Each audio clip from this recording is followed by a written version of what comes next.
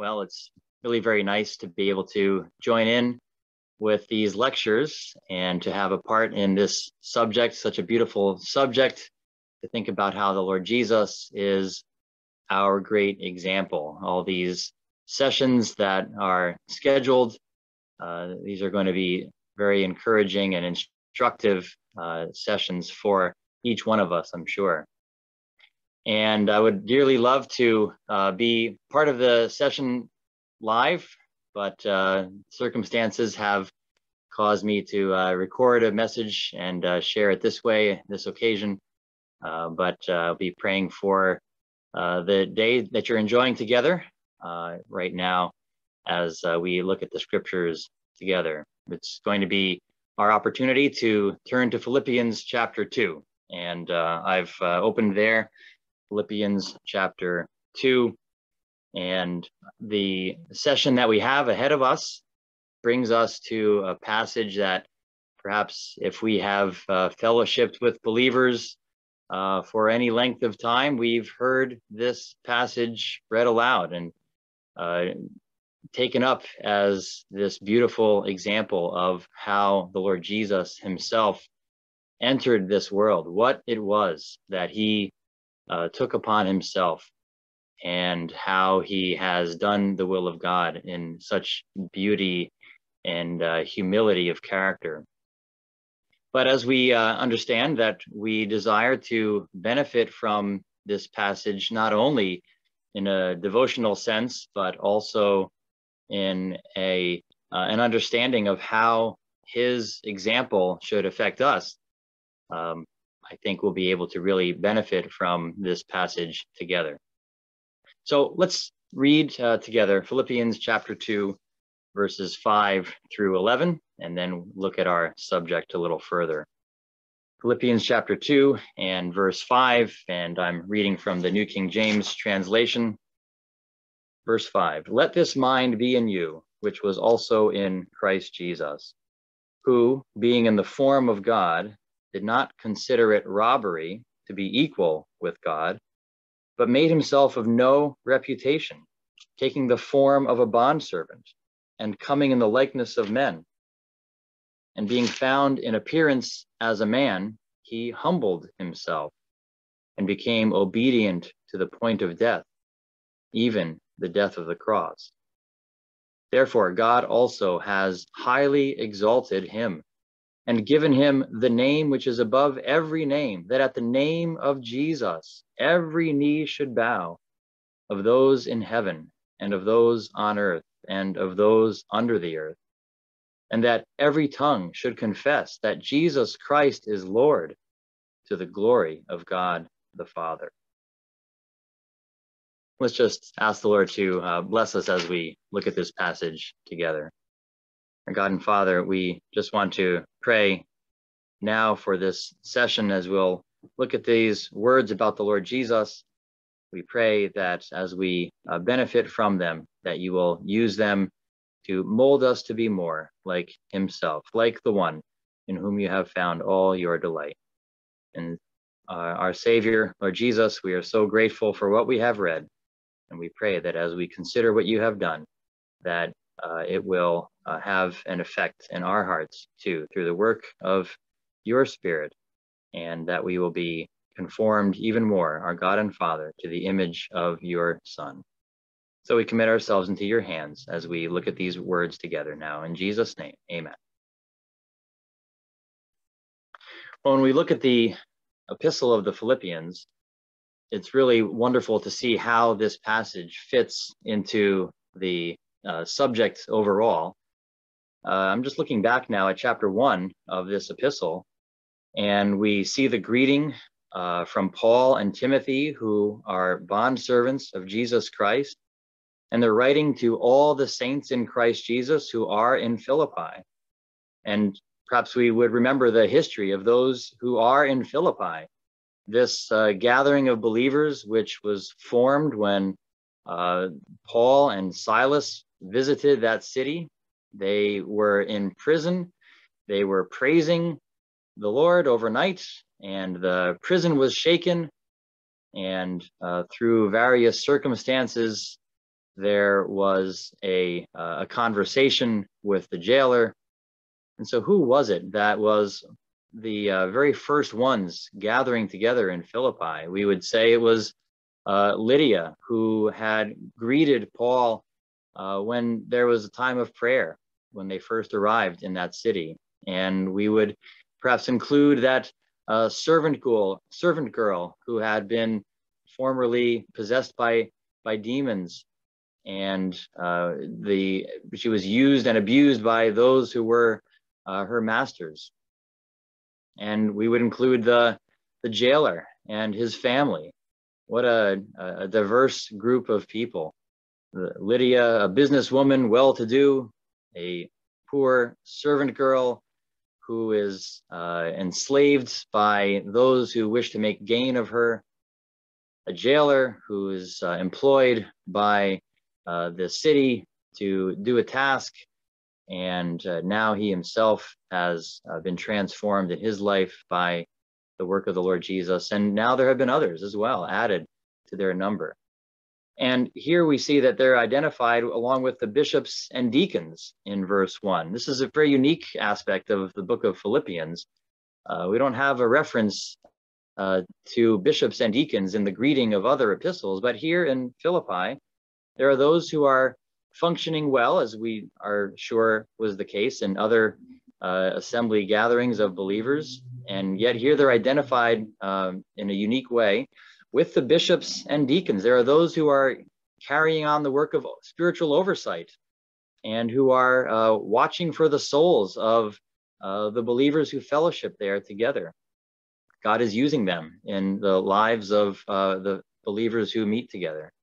And there are deacons, there are those who are serving well, there are those who are uh, carrying on the, the uh, practical needs of those who gather together and who are uh, helping to uh, manage what is needed practically and who are attentive to those needs.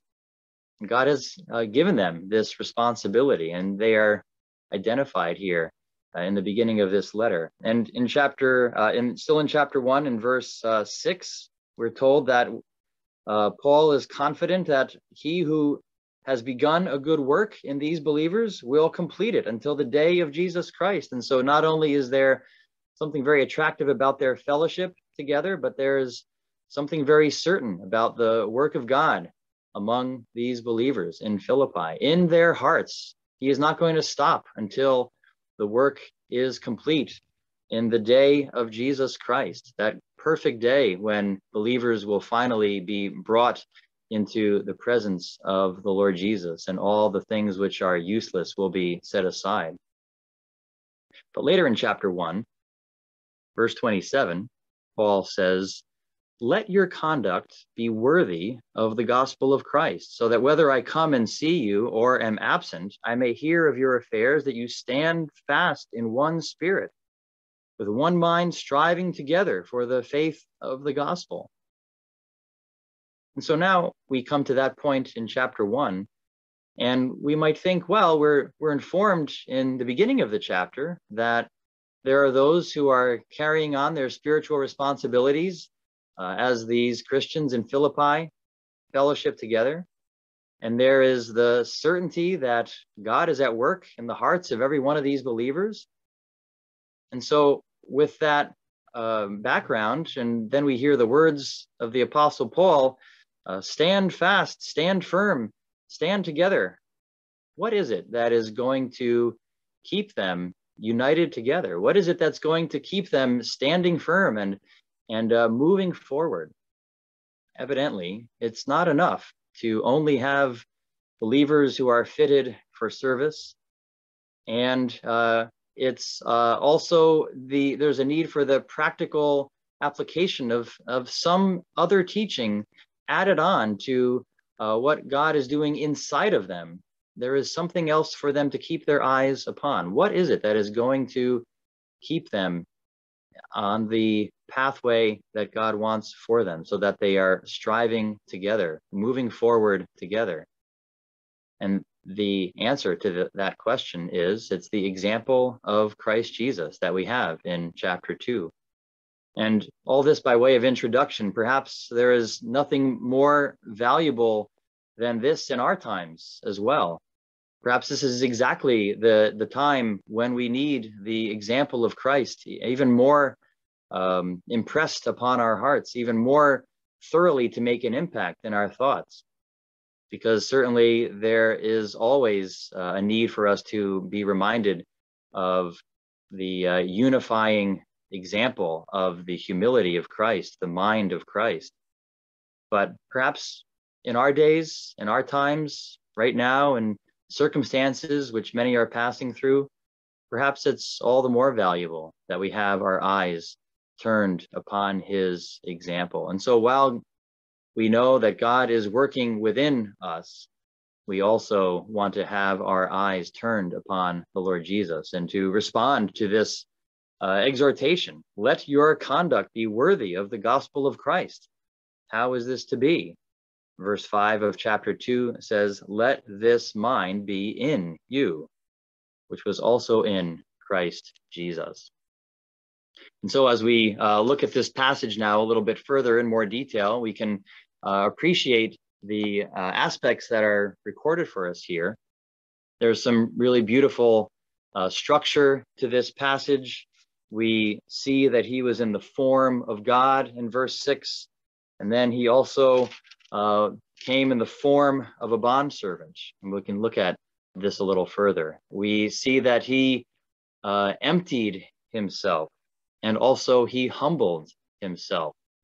These expressions are found in the in the passage where it says that he made himself of no reputation. Other translations say he he made himself empty, and he also made himself lowly. We can consider this a little further as well, and we see these uh, steps downward to the lowest place of humility, and then we see the answer to that humility in his upward exaltation. There's that beautiful uh, hymn that we sometimes uh, sing that uh, all the uh, sorrow, all the marks of sorrow are told in answering glory. All the Lord's suffering has been answered by the uh, exaltation that has been brought uh, for him, given to him. And so rightfully, he has received that place of honor. But as we look at these uh, steps downward, we can uh, recognize, uh, first of all, that some have uh, counted these a little differently. Uh, some I've, I've heard some say, well, there's four different steps downward. Some have said there's seven steps downward. Uh, I kind of like the seven steps downward, and some even count them a little differently as to which ones are the seven steps. Um, but we'll just go through this passage and take a look at these uh, statements about the Lord Jesus. And I would say that we have, first of all, uh, an identify, identification of who he was. He was the one who is in the form of God, in the form of God. And this uh, expression indicates not simply that he uh, looked like God or that he seemed to be behaving like God. This idea of form is where we get our English word morphology. It's a science word. It's the it's the very identification of who someone is. Of of uh, in the science worlds, there is a certain morphology of of animals and of plants. The Lord Jesus is in the form of God. He is himself God. He is the very substance of what God is because he himself is God. We're told this with certainty in John chapter 1 that the one who is the Word was with God. And at the very same time, the Word was God and is God. Somehow there is this beautiful complexity to the God of the Bible that He, the Son, He, the Word, is himself God, and yet God has this triunity of persons, this uh, unity of being. There is one God, and somehow there are uh, persons of that Godhead, Father and Son and Holy Spirit.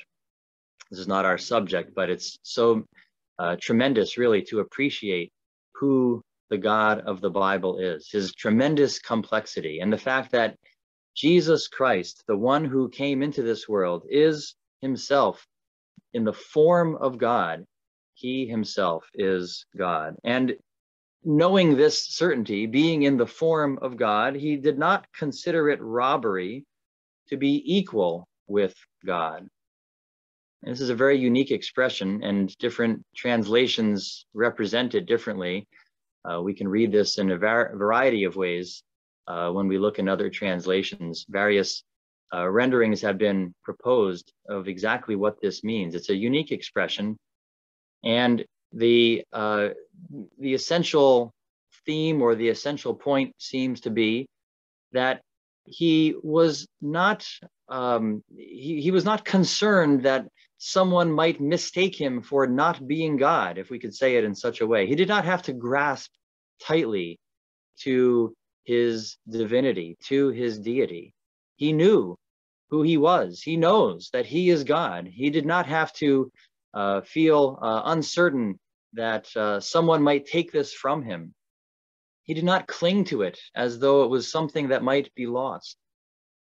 We have in the scriptures those who sought deity or sought to be recognized as somehow divine. Of course, the primary example is Lucifer himself, the one who said, I will be like the Most High, and he was cast out. We have an example in Acts chapter 12 of uh, Herod Agrippa, uh, known to history as uh, Herod Agrippa the First.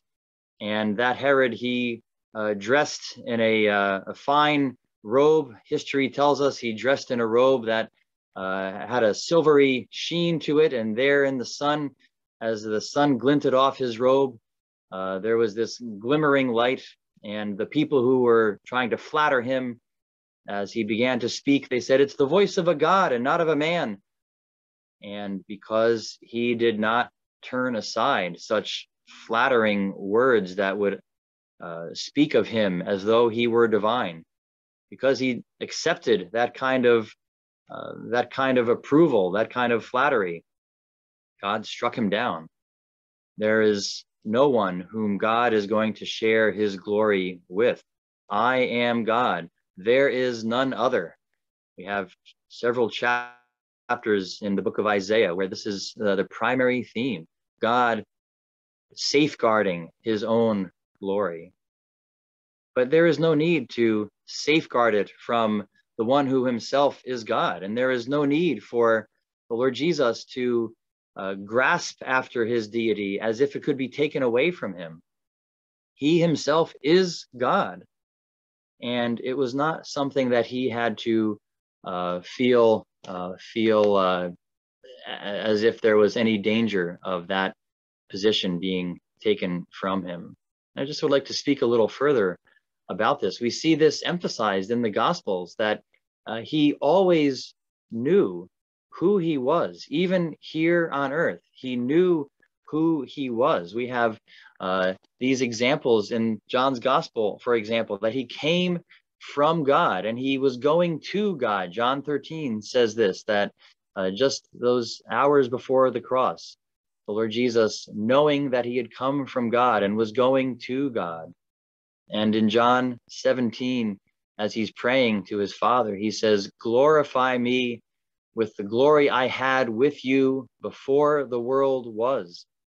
This uh, eternal glory that the Lord Jesus had as the divine Son with the Father. There is a conscious awareness of the joys that existed in eternity past with the Father. And when he stands before Pilate and Pilate says, Are you a king? He says, I am. And when he stands before the high priest, uh, in Mark's gospel in particular, the high priest says, Are you the Christ, the Son of the Blessed? The Lord Jesus says, Mark 14 records it this way I am. And he refers to this uh, prophetic uh, reference in, in the book of Daniel about the, the divine Son of Man who is going to come in glory And the high priest knew exactly what the Lord Jesus was speaking about because he tore his clothes and accused him of blasphemy. No one else should talk like this but God. And but the Lord Jesus, he was no pretender. He knew his divine place. He knew his deity. He knew that he was able to forgive sins. In Luke chapter 5, we have the reference to the uh, paralyzed man, and the Lord Jesus declares forgiveness of sins for that man. It's recorded in Matthew's gospel and Mark's gospel also. And in Luke 7, he forgives the sins of that woman, uh, the woman of the city who comes in and everyone knows she's a sinner. But the Lord Jesus declares forgiveness of sins for her. And those who are listening, they say, Who is this that forgives sins? Earlier in Luke 5, they had said, Only God can forgive sins. And they're right. Only God can forgive sins. But the Lord Jesus uh, does not shrink back from declaring forgiveness of sins because of his divine character. He knew who he was, he knew his divine uh, position, and yet he did not grasp after that as if there was some possibility of losing it. There was no uh, no no effort to maintain it because it's simply who he was. And in this glorious statement of who the Lord Jesus is, we then move into these steps that the Lord Jesus uh, began to walk his pathway to uh, come downward into our world. And we see, first of all, that it says that he uh, made himself of no reputation, as the New King James says. I mentioned earlier that uh, other translations put this, he emptied himself, or he made himself empty. We have to be so cautious as to how we describe uh, what this means. We are reading a passage that uh, almost uh, even by uh, trying to uh, give an, uh, an exposition of it, we're in danger of, of uh, speaking incorrectly. And so we want to be very careful. The Lord Jesus did not empty himself of his divinity. The fact that this is the first uh, step of humility that's recorded does not mean that he's emptying himself of his divinity, his deity, as others have have uh, expressed in uh, a, a, sentence that that uh, represents this thought has been said he never ceased to be what he always was when he became what he had never been before. He never ceased to be what he always was when he became what he never was before. And so he emptied himself. He made himself empty. Uh, this expression about becoming empty uh, is used in other uh, aspects in the scriptures that uh, things are, are made to be vain. Like the Apostle Paul once is saying, um, "I don't want my, uh, my my boasting about your spiritual progress to be to be vain, that it would be caused to be empty by by some external factor." And in most of the usage of this term in the scriptures, we see that some external factor is causing an emptiness. But the Lord Jesus, he made himself empty. And perhaps we could say that this emptiness was that he was willing to relinquish the joys and the glories of his divine position in heaven. He always was and is divine. But those joys and glories which he enjoyed as part of that relationship, his, his relationship with the Father, rejoicing before him, as it says in Proverbs chapter 8, in that prophetic uh, uh, description of what it was like for the divine Son and Father together to be uh, enjoying that relationship. And he uh, was was willing to relinquish those joys and those glories for a time. We also, on the other hand, are told that he always, as son, was in the bosom of the Father. How can it be that he would relinquish those? Uh, we, we can only say what the scriptures uh, tell us. And so we see that he emptied himself. And then we see that the next phrase is that he took the form of a bondservant. And so we might think of one who is uh, a, a uh, some princely official who is willing to relinquish his his royal robes uh, for some for some uh, for some purpose. But would such a one be willing to become a servant? Would he take the form of a servant? And again, this is the same word as being in the form of God. Now he is uh, has the form of a servant. He takes the form of a bondservant. And it's not just, as we might say, the, the costume of a bondservant, not just the trappings of a bondservant. He takes the form, the being of a bondservant. We could think of how in the Gospel of John, uh, it mentions, I found 40 times where he speaks about being the one who has been sent in the Gospel of John, the, the gospel which reveals perhaps more than any other his, his divinity. And yet, in that very same gospel, it emphasizes over and over, he says, The Father who sent me, the Father who sent me. I've come to do the will of him who sent me. My food is to do the will of him who sent me. He is that divine and perfect servant. And yet, we might say that this still was not the end of his uh, downward steps of humility, because even angels are servants. Angels are ministering spirits, they're servants for the sake of the uh, ones who belong to God. But he would not even be content to be an angelic servant. He would be, as it says here next, he came in the likeness of men the likeness of men. And this word likeness has to do, it seems, with the uh, the, uh, the the the appearance, the the category of of mankind. Uh, we're told in Romans chapter eight that he came in the likeness of sinful flesh. He took on that category, that category of humanity. Now, the category does not mean that he uh, himself is that. He is not merely human, he still is that divine Son of God. But he came in the category of humanity, the likeness of sinful flesh. That does not mean, again, of course, that he himself was uh, in that uh, condition of sinful flesh. He condemned sin in the flesh, we're told in Romans chapter 8. And it's another interesting uh, use of this word in Romans chapter 1. It says that I'm just going to turn uh, actually to, to Romans 1 for a moment to analyze this passage a little further.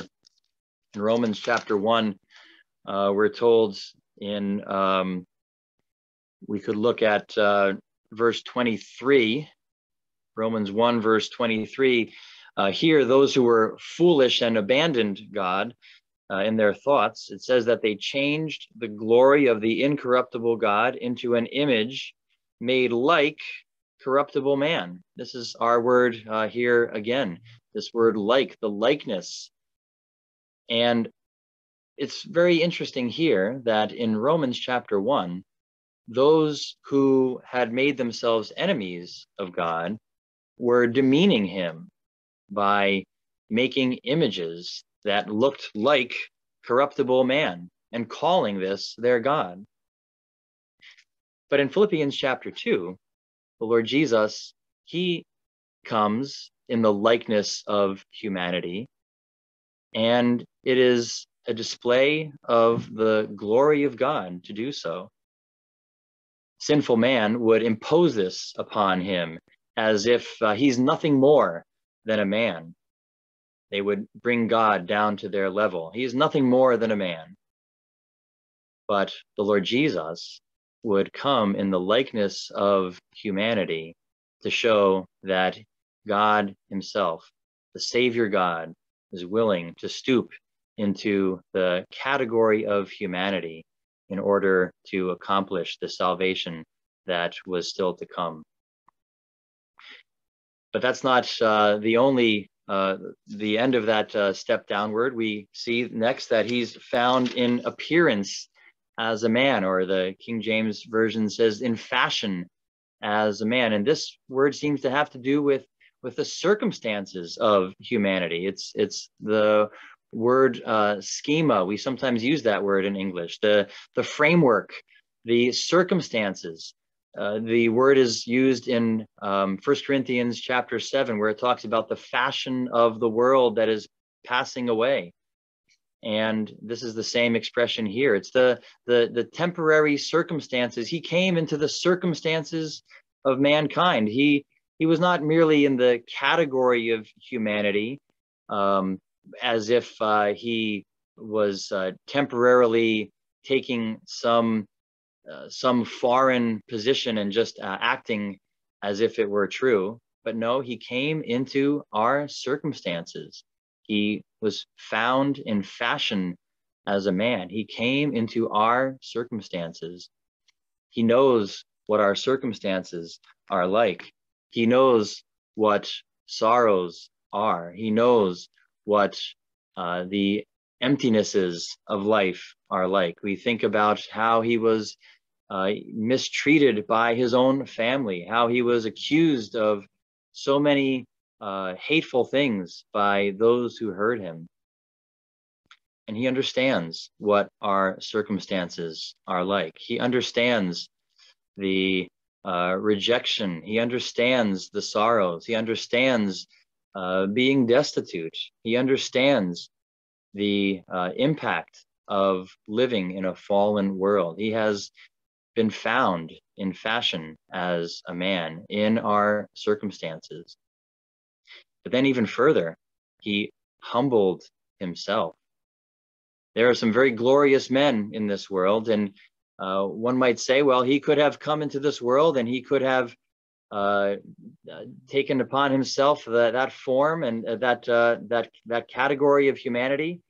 He could have taken upon himself the form of a bond servant. He could have uh, been found in appearance and fashion as a man in our circumstances, and yet still could have uh, lived a very comfortable existence. There are some very dignified and and well-off people in this world, but that's not how the Lord Jesus entered this world. He humbled himself. He made himself low. He made himself empty earlier, and now here in this verse, he made himself low.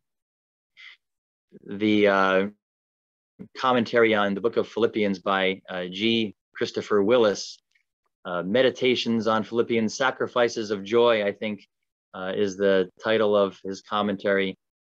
And uh, he speaks here in, in this passage, and he says that uh, the the old Greek writers would describe the Nile River with this word. It it ran low.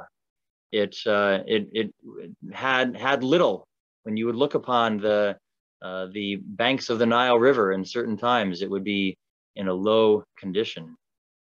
And that's what the Lord Jesus took upon himself. We are told in the scriptures that God is able to humble those who uh, make themselves proud, those who exalt themselves. He is able to make them humble. There was never, ever a need for the Lord Jesus to be made humble because he made himself humble. He made himself low. And uh, he came into the most humble of circumstances as we read even his, his human life here on earth.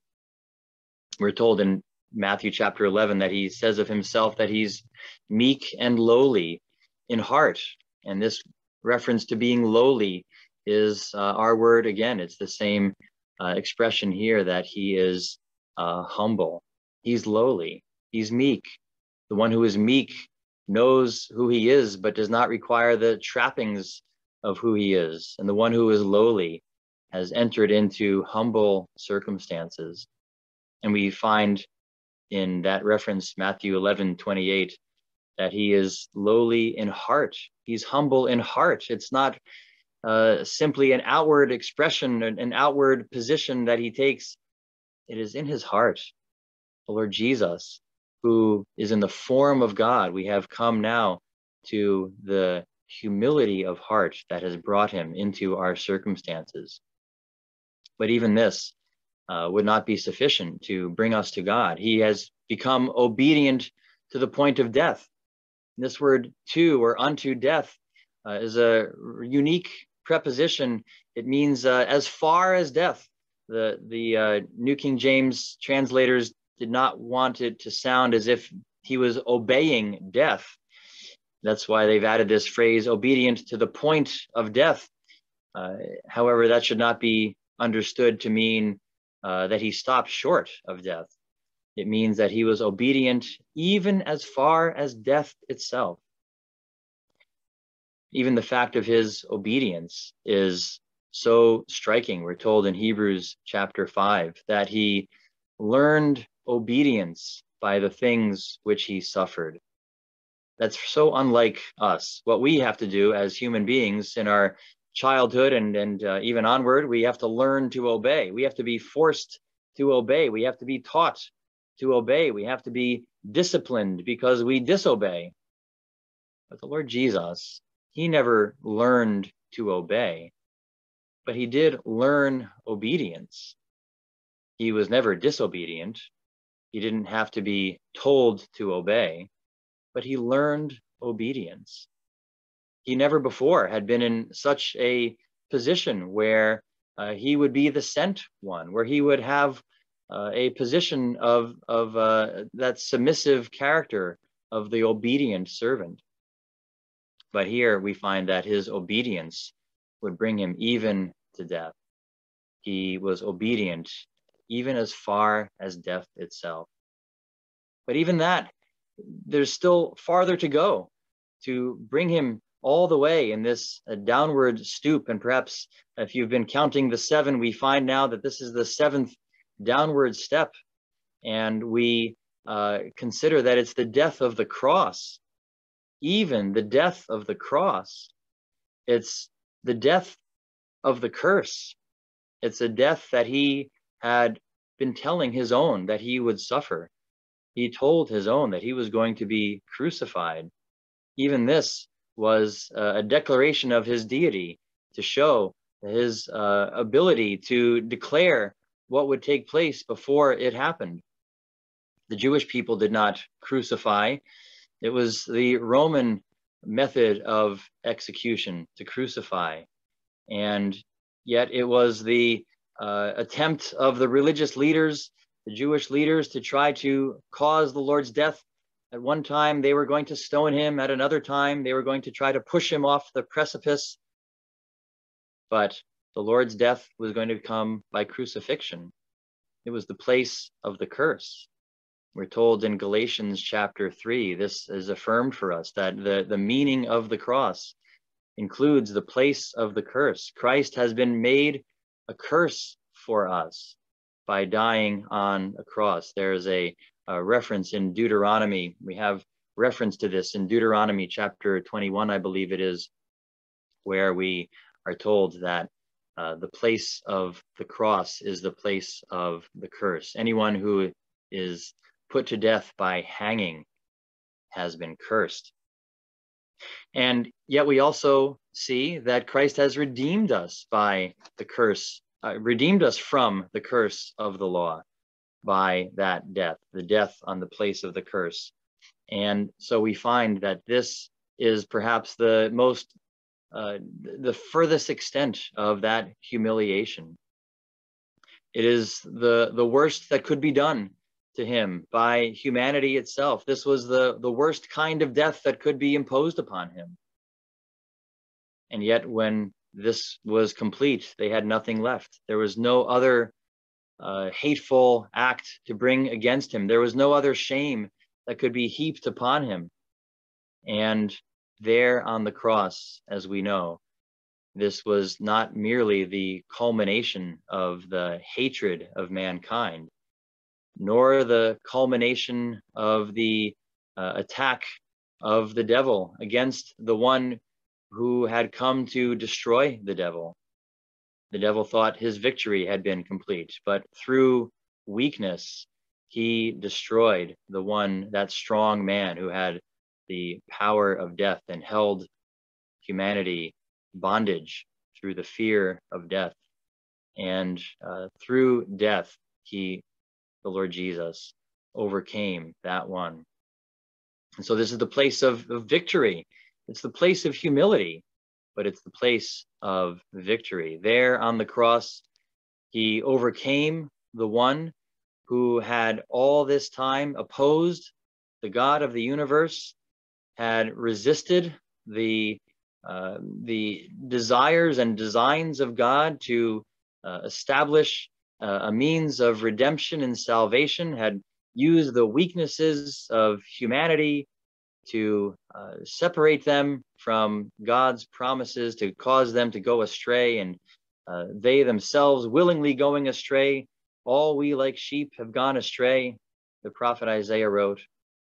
But there on the cross, the Lord Jesus not only destroyed the one who had the power of death, but he satisfied God's wrath regarding our sins.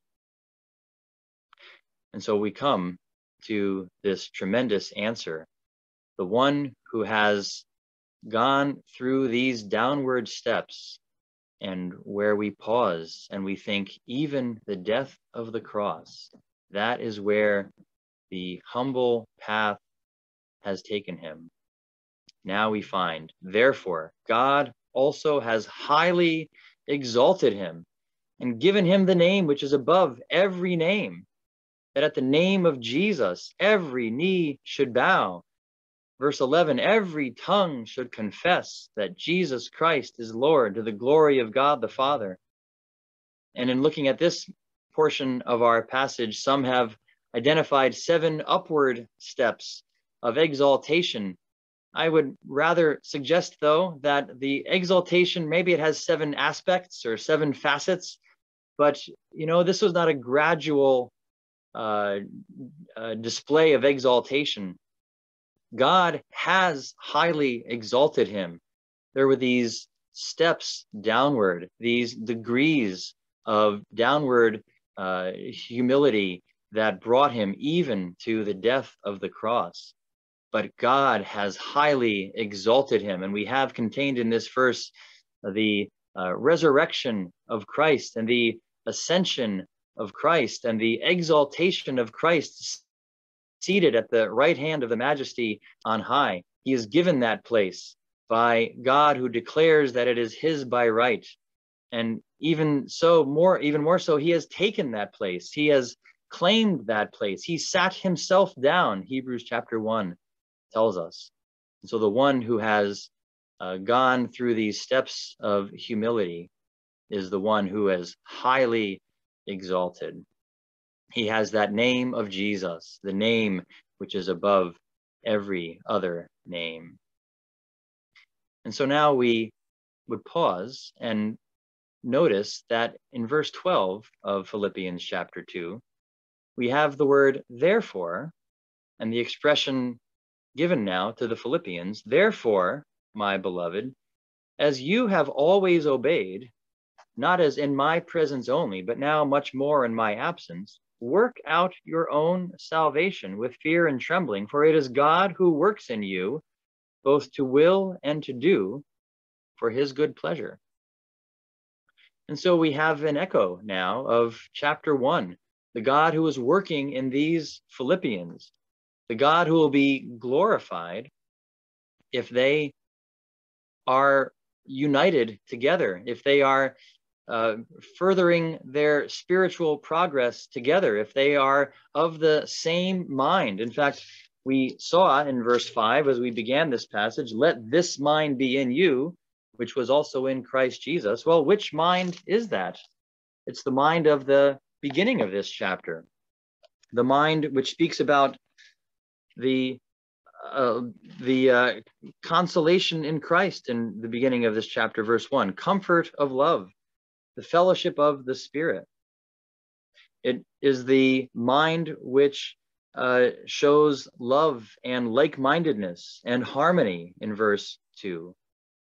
It's the mind which refuses selfish ambition and conceit.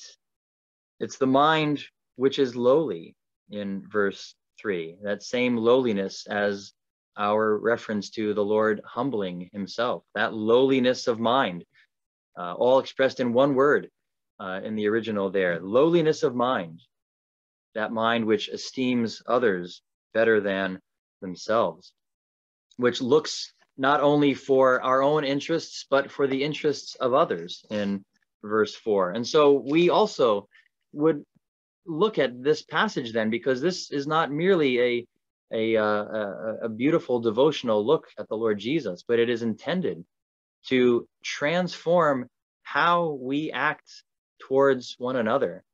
It is intended to shape how we view ourselves.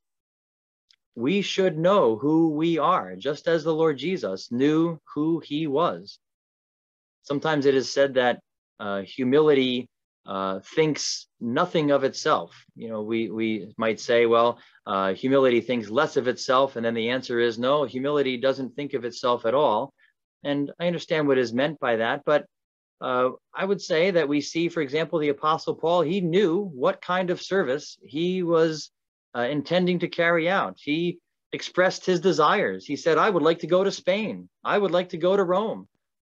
And he knew what his desires were. This was not stubbornness or selfishness, but it was purpose of heart. And we also should have purpose of heart in knowing what it is that God wants us to do here in this world. He has fitted us for tasks of service. But how is it that we are going to carry out the tasks that He has fitted us for? Well, we are going to, if we're going to have the mind of Christ, we are going to relinquish the joys that we believe come with a certain position. Are we ready to take the mind of Christ and relinquish what we believe are the joys that we feel are uh, are connected with whatever we believe God has set in front of us? Are we prepared to take the form of a servant? Are we prepared to classify ourselves as fellow human beings? We are told in Romans that we should associate uh, not just with those who are uh, high in this world, associate with the lowly? Are we prepared to enter into the circumstances of others the way the Lord Jesus entered into our circumstances? Are we uh, ready to make ourselves low? In James chapter 1, we're told that uh, those who are high in this world should rejoice in the fact that they are made low that we don't have to be something. We can be uh, content with what God has given to us and to make ourselves low. And to obey even as far as death. Are we willing to uh, obey as far as death? And hardly uh, ever would we perhaps think that we might be called to give our lives in service. But are we prepared to obey as far as death to ourselves, to uh, go to the uh, the the uh, extent of carrying the cross of one who follows the Lord Jesus. He called his disciples to carry the cross and uh, carry their own crosses. We don't carry the same cross as the Lord Jesus, but we are bearing about in the body the dying of the Lord Jesus, so that it is evident that we have uh, given up our own rights.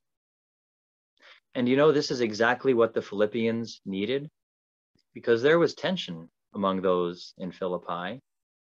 Paul uses the example of the Lord Jesus to draw their eyes away from themselves. And Paul himself had learned this lesson a bit himself in chapter 2, verse uh, 17, he says, I am willing to be poured out, poured out like a drink offering on the sacrifice and service of you all. And Timothy had learned something of this, um, of this character. He uh, is the one who seeks uh, the, the, the well-being, the spiritual well-being of others. He cares for their state in verse 20. He cares sincerely. He cares genuinely. He's not like those who seek their own. Even among believers, we are susceptible to seek our own things. Not Paul, not Timothy, not Epaphroditus. In the balance of this chapter, we read about him, Epaphroditus, who had come and was uh, helping the Apostle Paul in his uh, imprisonment. And verse 30 says that he came close to death for the work of Christ. He was supplying what was lacking in the service of the Philippians towards Paul. Not that the Philippians had forgotten Paul, but they lacked opportunity, as we were told in chapter 4. And so Epaphroditus was uh, making up the difference, devoting himself to the service that would sustain Paul, a fellow believer, for the honor of the Savior, their mutual Lord. And so here are some who, in their own day to day living, they had learned the example of Christ Jesus, who had entered their circumstances just as he has entered our circumstances to be that Savior. But if the Philippians are going to be able to answer that exhortation of chapter one, if they're going to be able to answer those exhortations of chapter two to uh, be uh, united together, to do nothing out of uh, strife or conceit, then their eyes also must be turned upon the humble example of the Lord Jesus. They also would have to hear the Apostle Paul say, Let this mind be in you. It was in Christ Jesus. And we see these beautiful examples. And this is how Euodia and Syntyche, these two sisters that we read about in chapter four, they would be able to address uh, in, in a godly way these conflicts that had divided them. And so we might even make this application for ourselves. Are there two sisters who can't get along? Is there another sister? Is there another brother that we find is disagreeable and we feel tension together? May it be that we have the mind of Christ Jesus, who, being in the form of God, did not consider it something to be grasped to maintain a position, but he emptied himself. He made himself empty. He came into our world so that he could do the will of God in humility. May it be so that we know his mind and do the will of God in humility. And this will bring great honor to the name of the Lord Jesus, whom we serve. Let's pray together. Our God and Father, we do pray that you will give uh, clarity uh, of, of, uh, of, of vision, this one who has come from the highest heights of glory and went to the cross of deepest shame. What a beautiful character is displayed in his ministry here. We pray that you will uh, teach us his ways as we desire to serve him and to honor you. We pray for one another. We pray for ourselves for the um, outcomes that will bring honor to the name of the Lord Jesus as we have his mind reside in us. We give thanks, our God and Father, in his name. Amen.